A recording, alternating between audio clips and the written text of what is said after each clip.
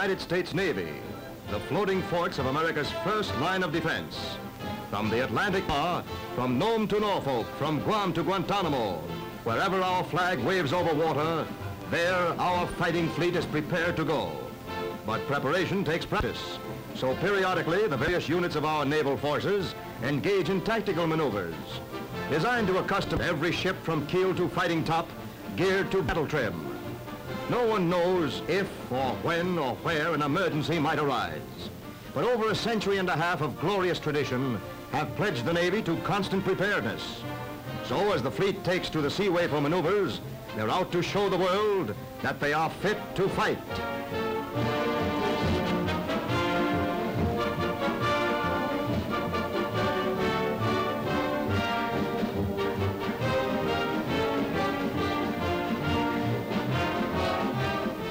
To the war games, the fleet is in battle order.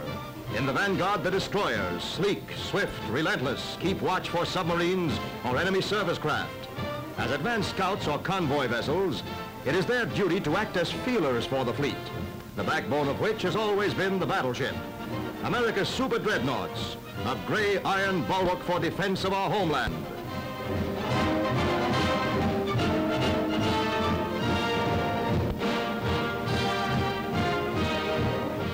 Eyes of the fleet are its aircraft.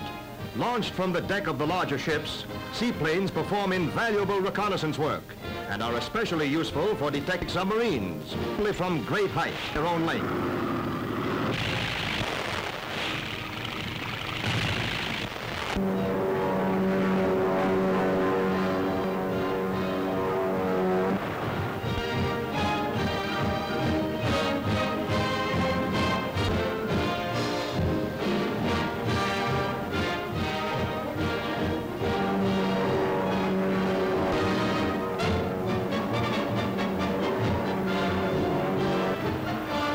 Washing their bows with white water, the destroyers bow ahead to contact the mythical foe.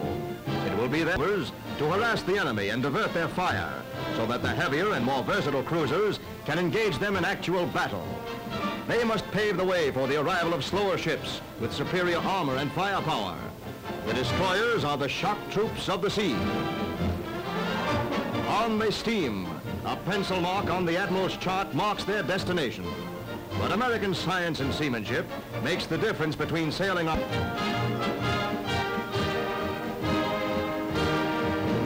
Submarine sighted, and down the chute go the deadly depth bombs. Because the underwater detonation might spring her own hull plates, the boat has to pile on plenty of knots and leave the ash cans far in her wake before their timing device explodes them. The commander of each ship has previously been acquainted with his position in the battle order. His speed and course have been carefully plotted in advance. Here is no place for the reckless tactics of a privateer.